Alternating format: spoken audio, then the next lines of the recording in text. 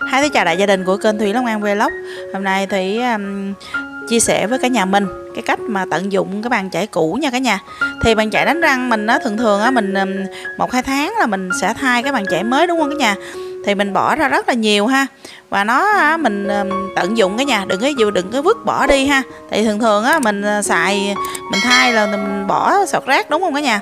Nhưng mà ở đây á, hôm nay thì chia sẻ um, nó thì nó nhiều cái để mình tận dụng lắm, nhưng mà thí ờ, chia sẻ, thí chia sẻ với cả nhà mình, tận dụng hai cái bàn chải ờ, cũ của thí xài rồi thí bỏ rồi nè. Đó, thì ờ, bây giờ với cái cách tận dụng như thế nào thì cả nhà cùng làm với thúy ha. Thì với cái bàn chải này là cả nhà chẳng những mình để mình tận dụng Thúy thấy rất là nhiều nhiều cái mà để mình làm luôn đó nha.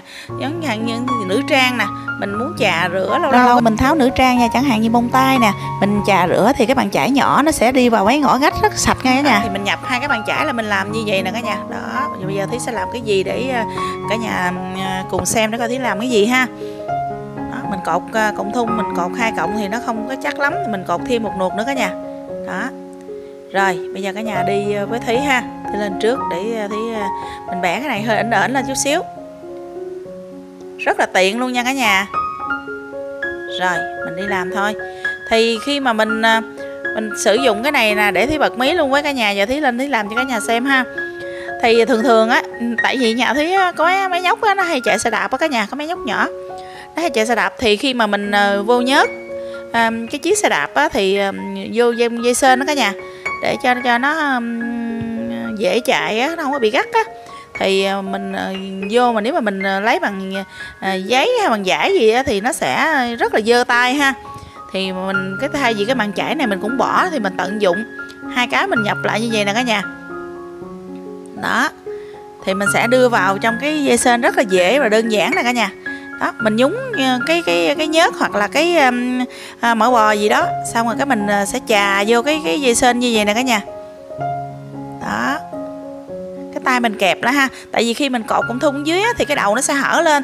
Để mình mình mình nhúng vào cái nhớt hoặc là cái uh, mỡ bò cái mình uh, mình chà nó như vậy nè. Đó rất là tiện luôn. Rất là tiện và rất là đều nha cả nhà. Tại vì bàn chải á, mình chà nó rất là đều ha. Cả nhà thấy không?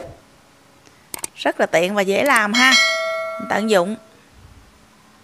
Mình không có bị dơ tay gì hết trơn cả nhà. Rất là ok ha Thôi video của Thí à, chia sẻ cái cách tận dụng bàn chải Chia sẻ mình tận dụng cái bàn chải cũ nè. Thay vì mình bỏ đi thì mình tận dụng để mình vô nhớt những cái chiếc xe đạp như vậy nè cả nhà. Đó hoặc là những chiếc xe Honda. Thì à, cái mình không có dính tay, không có bị dơ ta Rất là tiện nha cả nhà. Thì cả nhà mình nên áp dụng ha. Thôi để dừng video đây. Nếu cả nhà thấy video hữu ích thì nhớ tặng Thí một like ha. Và nhớ đăng ký kênh ủng hộ Thí làm những video tiếp theo hay hơn. Thúy bye, chào tạm biệt, hẹn gặp lại những video sau.